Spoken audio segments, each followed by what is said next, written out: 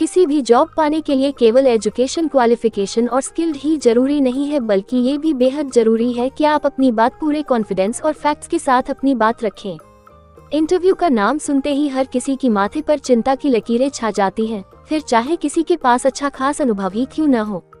साक्षात्कार का नाम सुनते ही हर किसी के हाथ पैर फूल ही जाते हैं। वह ही अब अगर किसी की लाइफ का पहला इंटरव्यू हो तो नर्वसनेस और बढ़ जाती है। अब ऐसे में फ्रेशर के लिए कुछ ऐसे टिप्स बताने जा रहे हैं, जिनको फॉलो करके आप इंटरव्यू में सक्सेस पा सकते हैं। आइए जानते हैं कॉन्फिडेंट रहें, किसी भी जॉब पाने के लिए केवल एजुकेशन क्वालिफिकेशन और स्किल्ड ही ज़रूरी नहीं है, बल्कि ये भी बेहद ज़रूरी है कि आप अपनी बात पूरे कॉन्फिडेंस और फैक्ट्स के साथ अपनी बात रखें। कहते हैं न कि first impression is last impression इसलिए किसी भी इंटरव्यू के लिए सौ फ़ीसदी सच है। ऐसे में जब भी आप इंटरव्यू के लिए जाएँ, पूरे आत्मविश्वास के साथ जाएँ। बॉडी लैंग्वेज का भी रखें ध्यान। साक्षात्कार के दौरान बॉडी लैंग्वेज का भी खास ध्यान रखना होगा। युवा जब भी किसी इंटरव्यू के लिए जाए तो इस बात का ध्यान रखें कि उनके चलते और बैठने दोनों का तरीका बिल्कुल ठीक हो। घबराहट में अपने पैरों को हिलाना या फिरन।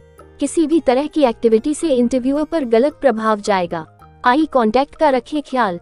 साक्षात्कार में शामिल होने वाले युवा इस बात का ध्यान रखें कि वे जब भी इंटरव्यूअर के सामने हो तो हमेशा नज़र से नज़र मिलाकर बात करें। अक्सर देखा जाता है कि घबराहट के चलते कैंडिडेट इधर उधर देखने लगते हैं, जिसका बेहद खराब असर पड़ता है। इसलिए कोशिश करें कि आई कांटेक्ट करें। कंपनी के बारे में रखें जानकारी।